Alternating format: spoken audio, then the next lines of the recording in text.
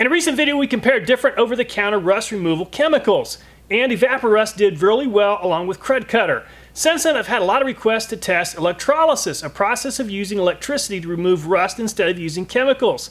So today we're going to compare Evaporust against electrolysis and see which method is the best. This rusty wrench and this lug nut are both seized. We're going to see if electrolysis can remove all the rust and free both of them up. We want to see how much weight is removed from this wrench during the electrolysis process. It weighs 448 grams. We'll weigh it again after the electrolysis to see how much weight was removed. We're also going to pair electrolysis to Evaporust to see which one is more effective.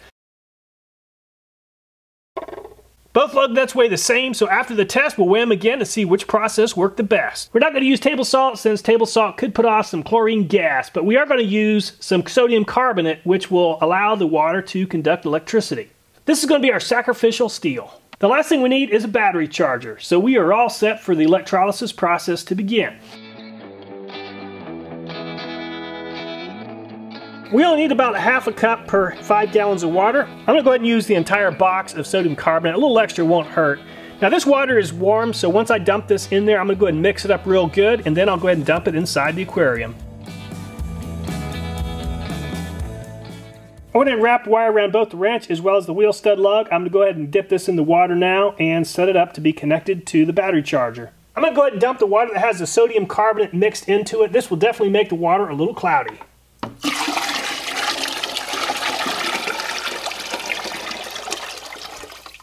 So for the electrolysis process, you want to put the positive on the sacrificial steel and the negative on the steel that you're trying to remove rust from. So let's go ahead and plug this in and watch the process begin. As you can see, there are some bubbles. That is hydrogen gas. Evaporust does not have any sort of acid. It's a very safe process for metal parts. So what I'm going to do is go ahead and add the Evaporust into this little container and then allow the process to begin. So we're going to come back in 24 hours and see what kind of progress has been made. It's been right at 24 hours. You can see there's a lot of action taking place inside this aquarium. You can see the oxygen bubbles coming off this rusted bolt as well as this wrench. You can also see the hydrogen bubbles coming off the steel. And you can also see a lot of rust has formed on this wire. The Evaporust is in this container. I'm going to go ahead and pull the wheel stud lug out of this container and put it next to the one that's experiencing the electrolysis to see which one looks better.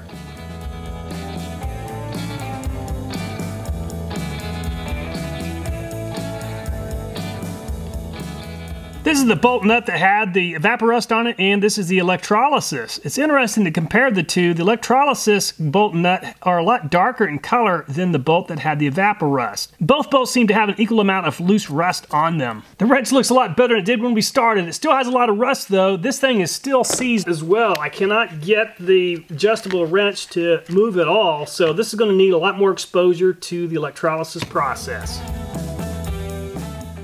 We're to come back in 24 hours and see how everything is doing.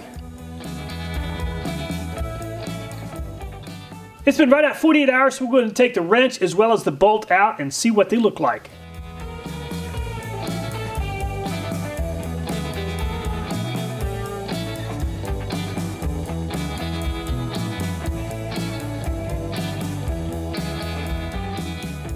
The evaporust has more of a rust color appearance than the electrolysis. As far as the amount of rust, they look very similar. The bolt soaking in Evaporust seems to have a lot looser rust on it than the bolt that's gone through electrolysis. The nuts are still seized on both bolts. The electrolysis process is working really well on the wrench. As you can see, there's a lot less rust on this wrench than when we first started. The wrench is still seized, but I think within the next 24 to 40 hours, we'll be able to get this to move freely. It's been right at 72 hours since we began the test, so I'm gonna go ahead and remove the bolt and the wrench to see how they look. I'm gonna go ahead and remove the bolt that's in the Evaporust. As you can see, the Evaporust level has decreased. It's evaporating off, so I'll end up adding a little bit more Evaporust for the next 24 hours. I'm gonna go ahead and see if I can get the nut off of each one of these bolts to see if one of these products has done a better job. Both Evaporust and Electrolysis have done a great job, but the nut is still frozen on each bolt. So it's been right at 72 hours with the wrench as well, and you can see it's looking a lot better. It's still frozen, though I can't get this to turn by hand, so I'm gonna go ahead and use a brush to try to scrape some of this rust off, and then we'll put this back in the mix for another 24 hours.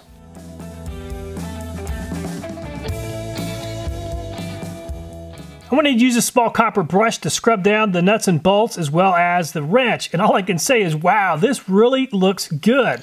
I'm really impressed with both Evaporust as well as with the electrolysis process. Both of these processes seem to be highly effective at removing rust. I'm gonna go ahead and put this back in the tank for 24 more hours.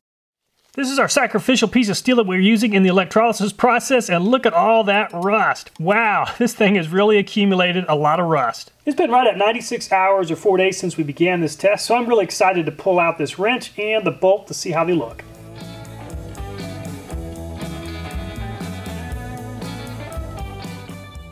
Wow, that's actually looking pretty nice compared to what it looked like when we started. The bolt that was soaking in Evaporust actually looks a little bit cleaner than the bolt that's gone through electrolysis, but when you take a close look at both, there really doesn't seem to be all that much more rust on the bolt that's gone through the electrolysis. In the past 24 hours, electrolysis has really helped this wrench continue to make progress. I have to admit I've never used electrolysis before, but it really seems to work well. So I used this copper brush to scrub down the wrench, and all I can say is, wow, electrolysis did a great job. This wrench looks incredible.